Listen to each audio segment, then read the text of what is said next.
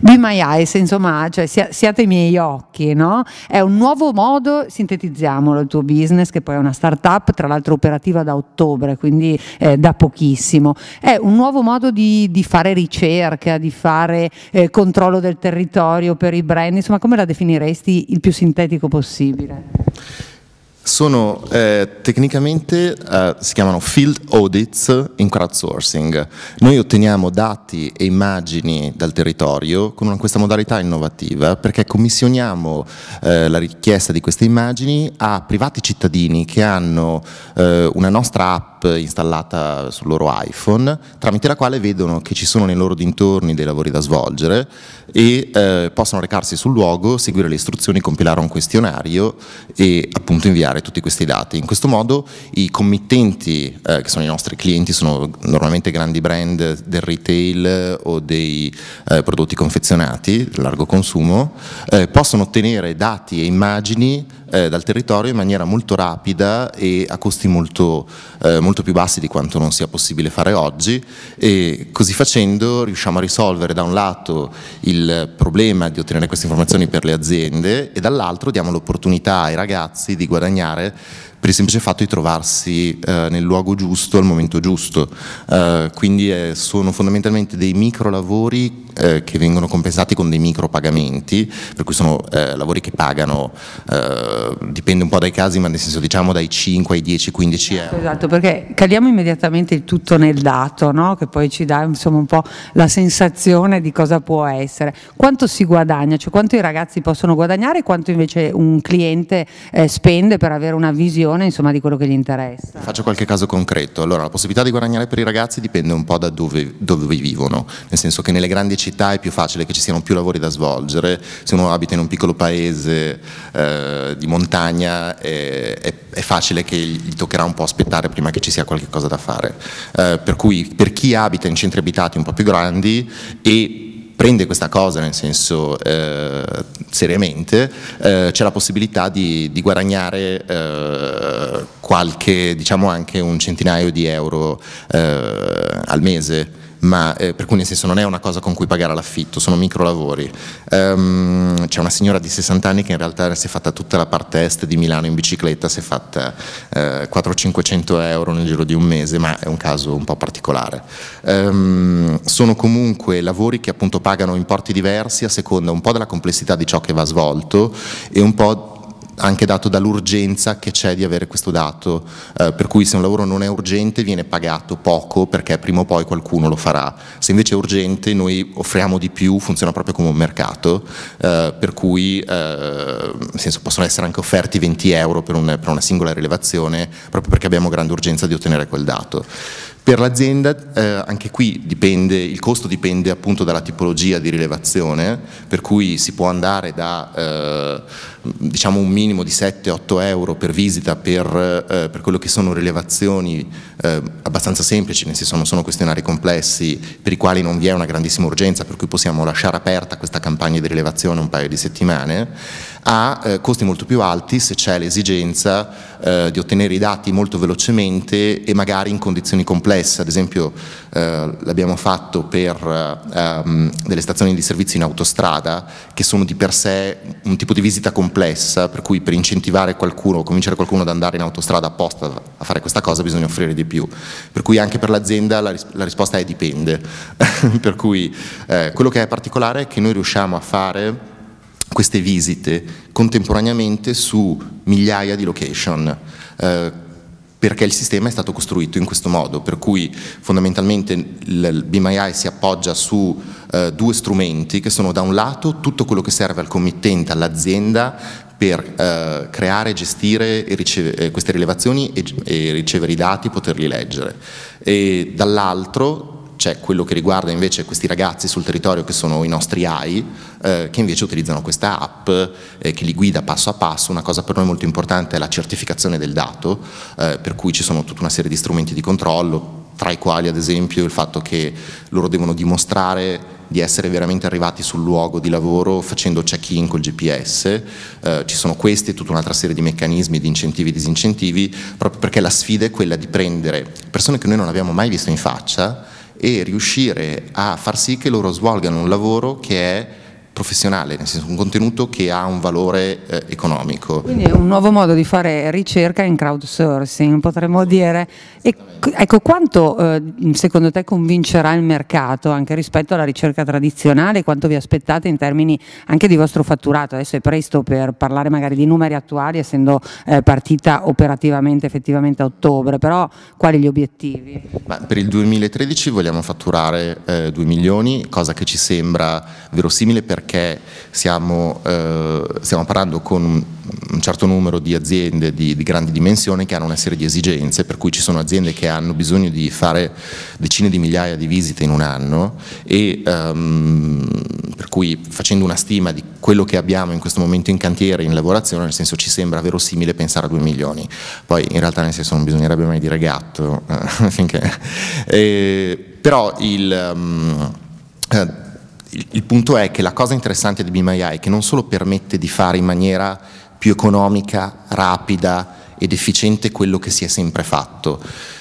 il fatto che queste singole visite costino così poco eh, permette all'azienda di farne molte di più, quindi è possibile fare cose che non si erano mai fatte prima, mentre prima in alcuni casi si facevano visite a campione, con noi si possono fare visite a tappeto. E farle non più una o due volte l'anno, ma farle eh, tutti i mesi. Non solo, una delle cose eh,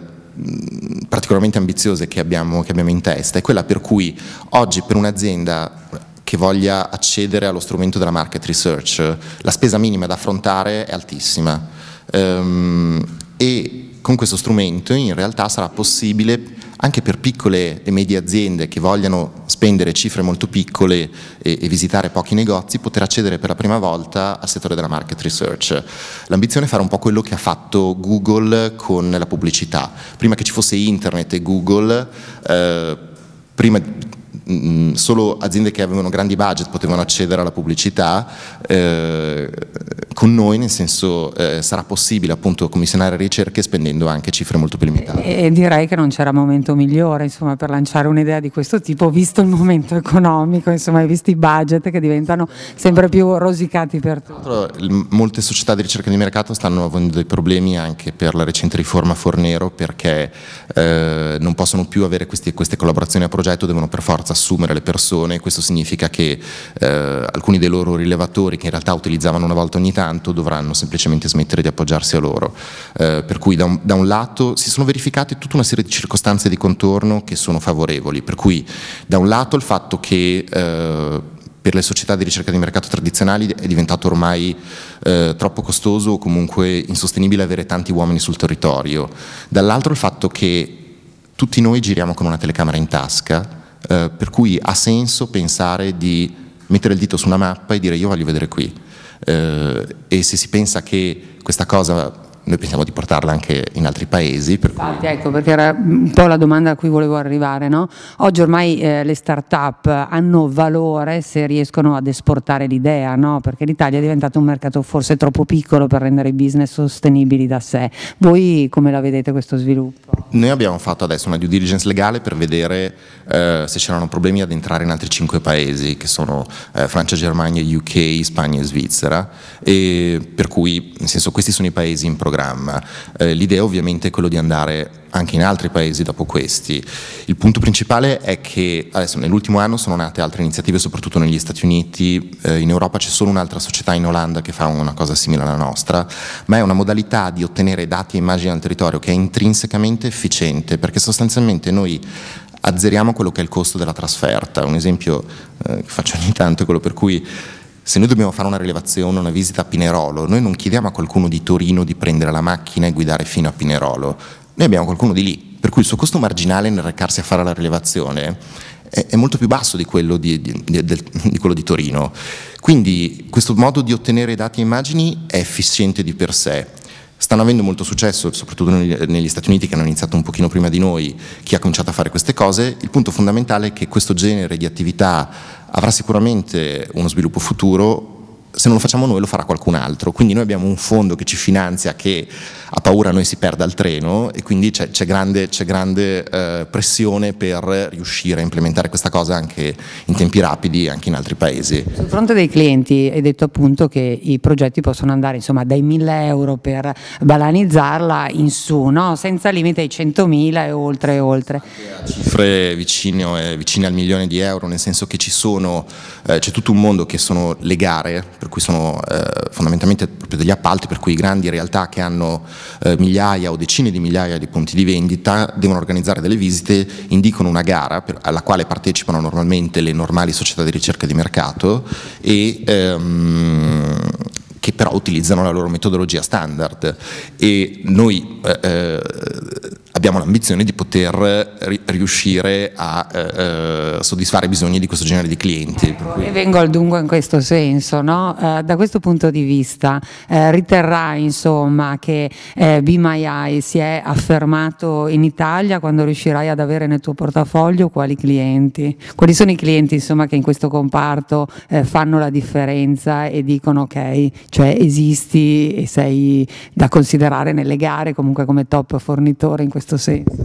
Sono quei clienti che hanno moltissimi punti di vendita da visitare, per cui eh, faccio un esempio, um, Sisal ha 40.000 ricevitorie in giro per l'Italia o anche l'automatica, eh, forse anche di più, uh, i, um, il settore oil and gas, i distributori uh, di benzina, per cui le reti da, da Eni a Total Erg o così via.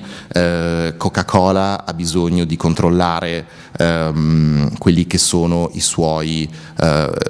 i suoi retailer, nel senso i, i ristoranti che utilizzano i, loro, i, suoi prodotti e hanno anche il loro materiale. Sono tutte aziende queste che ho citato che sistematicamente cioè, organizzano queste gare. Ora, eh, il punto è che molto spesso organizzano queste gare, eh, sono organizzate dagli uffici acquisti che non hanno minimamente idea che esiste una modalità alternativa, per cui a volte mettono delle specifiche minime per partecipare a queste gare che eh, si scontrano un po', un po con eh, eh, il metodo di funzionamento che abbiamo noi. Ad esempio chiedono che queste persone vengano formate in aula che per noi è impossibile, nel senso che comunque non è, mm, non è, possibile farlo con la nostra metodologia. Quello su cui noi cerchiamo di convincerli è che non ce n'è bisogno, perché noi diamo delle prove oggettive. Noi di solito sono richieste di c'è qualche cosa non c'è qualche cosa. Noi abbiamo delle foto per testimoniare tutto quello che viene affermato, abbiamo il fatto che una persona deve fare check-in col GPS sul, sul luogo prima di iniziare, abbiamo tutta un'altra serie di meccanismi di controllo, tali per cui la formazione in aula non è necessaria eh, è un problema molto sentito da parte dei servizi, questo degli uffici acquisti, no? che continuano a considerare i fornitori di servizi nella maniera tradizionale, quando invece insomma, le, le, cose sono molto diverse e sono cambiate. Sì, nel senso che la sfida è cercare di convincere questi uffici acquisti che anche se noi non facciamo, eh, magari non rispettiamo alcune specifiche che loro chiedono, eh, in realtà questo non è un, un, un, meno, ma è anzi un più. Cioè, recentemente, non faccio un nome, ma c'è stata una gara in cui chiedevano che i rilevatori avessero un computer portatile per inserire direttamente i dati non serve, nel senso che cioè non è, non è un, un, difetto non, che, non abbiano, che, non abbiano, il computer, nel senso perché comunque i dati vengono inseriti nell'iPhone e partono subito. E, e... Tutta questa nuova metodologia, giusto per riassumere, forse l'abbiamo già detto, ma in termini pratici che tipo di risparmio consente fare una ricerca così rispetto alla tradizionale in termini percentuali? Consente almeno di dimezzare i costi, ma almeno. Per cui eh, vi faccio un esempio, una, una, visita, un audit in un punto di vendita eh, fatto da una tradizionale società di ricerca di mercato viene fatto pagare dai 50 euro in su, diciamo cioè 50-70 euro. Eh, noi ne abbiamo appena fatta eh, una per un grande marchio eh, di telefonia eh, e li ha pagate 16 euro. Per cui ehm, alla fine è, è sicuramente un risparmio molto sensibile e tra l'altro permette di fare, il costo è tale per cui permette di fare quello che noi chiamiamo sovracampionamento, nel senso che mandiamo a fare due visite da parte di due dei nostri AI eh, in maniera tale da avere ulteriore eh, attendibilità del dato.